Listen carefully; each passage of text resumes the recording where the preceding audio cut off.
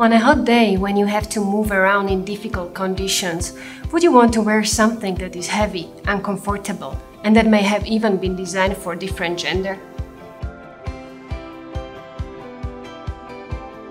I'm Jana Bačinská and I'm making safety clothing that is comfortable and more appealing to wear for both men and women.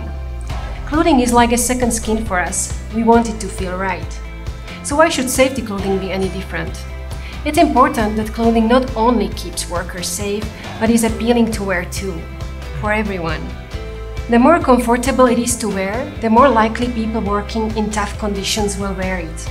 Yet, personal protective equipment has been very inflexible when it comes to fitting different body shapes, including those of women.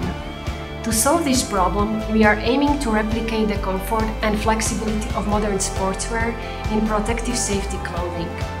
We want to make clothing that people feel good wearing not just in the workplace, but outside of work too.